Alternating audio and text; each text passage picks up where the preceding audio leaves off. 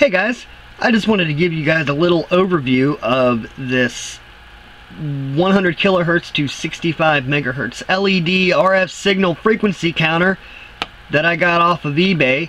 These are all over um, eBay as you might be able to, well, if I can get the right tab up.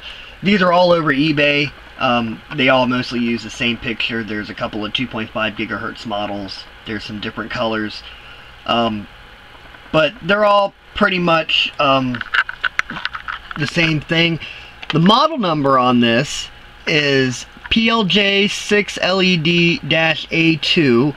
It's made by a company that it looks like it almost looks like San Juan, S-A-N-J-I-A-N, and I'll type that up in the uh, description. Um, I'm not going to try to pronounce that right now. Um, but if you know how to use the frequency counter, you pretty much it's simple. Feed your power, feed your RF input. Um, but you do have a couple of buttons on here as you might be able to see when the camera focuses. One looks like a triangle, the other one looks like, well, a backup button. Um, and this is not only to change the mode selection of the sensitivity, but it also lets you change your brightness and it also lets you program your IF offsets. Uh, when I got this, it was way too bright, and I thought maybe one of these two pots in the back were brightness control. They're not. I would not touch them. I had a, uh, luckily had a crystal oscillator nearby that I knew I watched what the output was and quickly realized that either of these don't change brightness. So, since I didn't get any instructions, and I figured some of you people might be wondering, how do we use this thing? I'm to show you what the buttons do. So the first thing I need to do is I need to plug my power up, which is just, it's clip lead to a 9 volt battery. Nothing simple, nothing complex. I haven't had a chance to build a case for it. So I'll plug it in, if we can get it to stay plugged in. I am sorry about that. So now we have it plugged in, and you can see we're currently sitting in 10 hertz resolution. I don't know if you can see the decimal point, but there is a decimal point lit up there, and there's one there.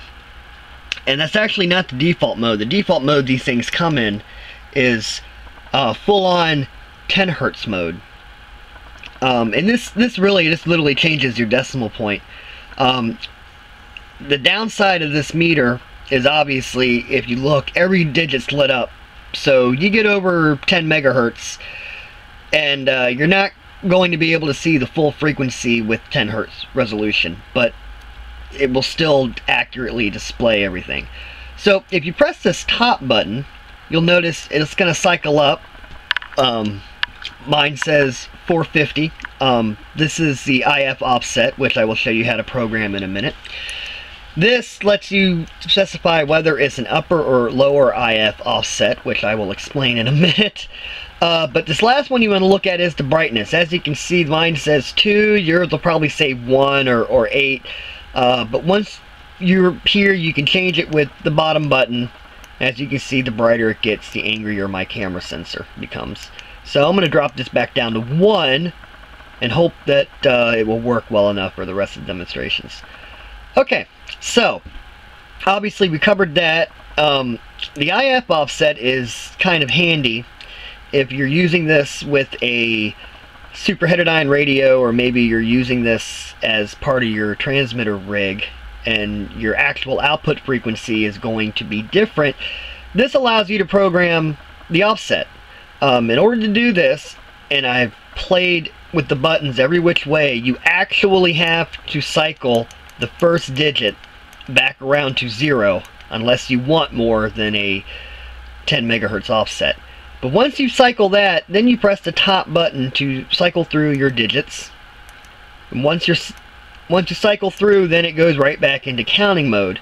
Of course, if this is if your offset's right but it's the wrong way, you have to go back and press this button twice. And once you're at this menu or this option, you can press the bottom button to change whether you want a higher IF offset or a low IF offset. And uh, that basically basically covers it. Um, I'll, I'll actually type up the instructions in the description because obviously I'm trying to videotape while doing everything and it doesn't work. But uh, hopefully some of the visuals will come in handy if you're trying to use one of these. And I have to say, these are really, really neat, handy units. I mean, it runs off a 9 volt battery.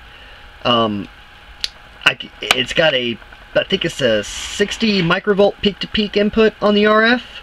Um, I've used it with the local oscillator of a Harman Kardon tuner on AM. I've used it to play to check my signal generator, which is why I bought it. Um, and really, for um, about 10 or 11 bucks, if you want to add frequency readout to something permanently, well, this is small enough. It's uh, three and a half inches by one inch by one inch deep. It'll mount right into a uh, into a panel. So there you have it. If you in the market for a frequency counter under 65 megahertz, you can't go wrong. Um, just as to show you an example, um, this one right now, as of today's date, which is 7-Eleven day, uh, this is 1329. This one's, you know, 1342. And of course, you can get the uh, 2.4 gigahertz model for around $16. And really, it's not not too horrible of a deal. So anyway, I hope some of you guys have found this useful and getting this to work the way you want it to and to everyone who bought one have a lot of fun with it. I know some of you guys will be using it to do something fun. Some of you guys are probably doing work with it, but um, it does work as a really awesome standalone counter. And I have a couple of videos of this with my vintage signal generator as well as with this Harman Kardon TU910 tuner sitting up here. Uh, so you can check out my feed and, and look at those if you want. So anyway, hope you enjoyed it. Have fun. Take it easy.